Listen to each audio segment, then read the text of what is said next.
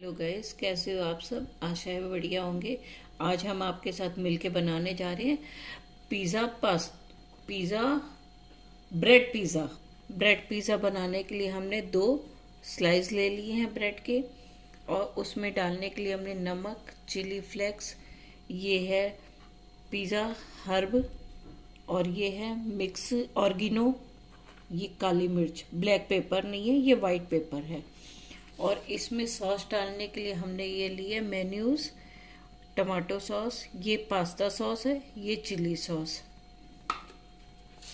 और इसमें सब्ज़ियाँ डालने के लिए हमने लिए ये पीली शिमला मिर्च जो हमने इस तरह काटी है, ये कॉर्न है, आपको आराम से मिल जाते हैं मार्केट में। ये लाल शिमला मिर्च है, ये भी आपको मार्केट में आराम से मिल जाएगी। ये हरी शिमला मिर्च है, ये भी आपको मिल जाएगी। और ये हम डाल रहे हैं बीन्स। इससे भी टेस्ट बढ़िया आता है। और भी आप सब्ज़ियाँ डालना चाहें तो आप डाल सकते हैं। और इसमें हमने लिया है एक से डेढ़ चम्मच के करीब अमूल बटर। आप इसकी जगह और कोई दूसरा बटर भी डाल सकते हैं। और ये हमने चीज़ के ऐसे छोटे छोटे वाले ले लिए। आप इसकी जगह स्लाइस भी ले सकते हैं। अब इसमें हम, देखिए, ये नमक डाल देंगे। नमक आप थोड़ा कम ही डालिएगा। ये देखिए, सारी सॉस में मिक्स करके और ये साथ में हम थोड़ा सा चिली फ्लेक्स बचा लेंगे, बाकी डाल देंगे। और ये ऑर्गिनो, ये भी हम थोड़ा सा बचा लेंगे। ये मिक्स मिक्स हर्ब, ये भी हम थोड़ा सा बचा लेंगे। ये ब्लैक वाइट पेपर, ये भी हम पूरा डाल देंगे। ज़रा सा बचा लेंगे ऊपर से गार्निश करने के लिए। अब इसको हम अच्छे से मिक्स कर लेंगे सॉस को।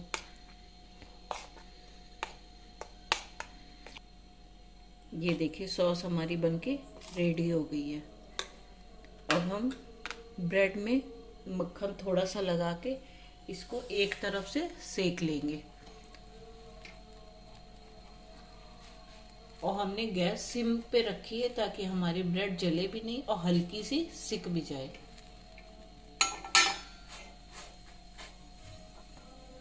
बस देखिए, मक्खन मेल्ट हो गया। इससे ज़्यादा हमें नहीं सेकनी, क्योंकि अभी पिज़्ज़ा बनेगा तो उसमें वैसे ही ऑलरेडी सिक जाएगी। अब इधर, इसमें हम क्या करेंगे? ये जो हमने सॉस बनाई हुई है, इसको लगा देंगे। जितनी आप अच्छे से लगाएँगे, उतना ही टेस्ट इसका बढ़िया आएगा।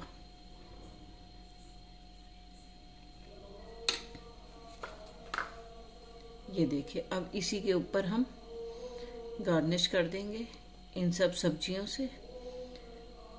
जितनी अच्छी सब्ज़ियाँ आप डालेंगे, जितनी ज़्यादा, उतना ही ये बढ़िया बनेगा। ये देखिए।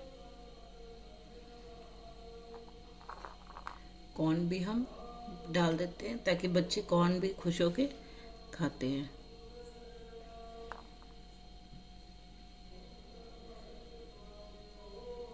ये देखिए।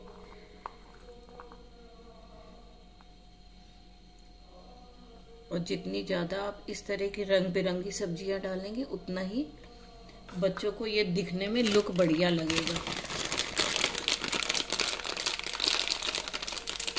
अब इसी के ऊपर हम चीज़ डाल देते हैं। और चीज़ जितना ज़्यादा आप डालेंगे, उतना ही बच्चों को पिज़्ज़ा टेस्टी लगेगा।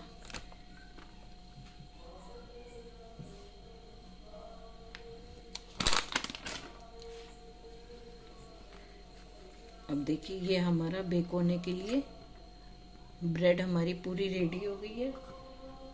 और इसमें तवे में हम थोड़ा सा मक्खन डाल देंगे। और गैस हम सिम पे ही रखेंगे।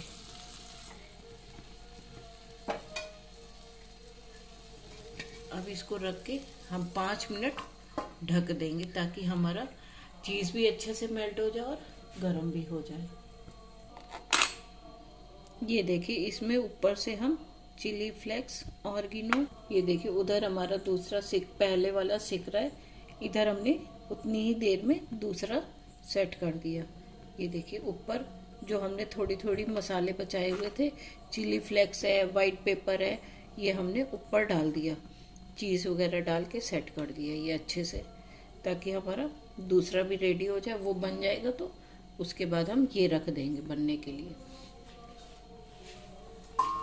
ये देखिए, ये भी हमारा हल्के हल्के बन के रेडी हो ही रहा है लगभग। ये भी हम इसी तरह रख देंगे और इसको भी हम ढक देंगे। ये बस पाँच मिनट में हमारा ये देखिए, हमारा बन के पिज़्ज़ा ब्रेड पिज़्ज़ा रेडी हो गया अब इसको हम आपको काट के दिखाते हैं।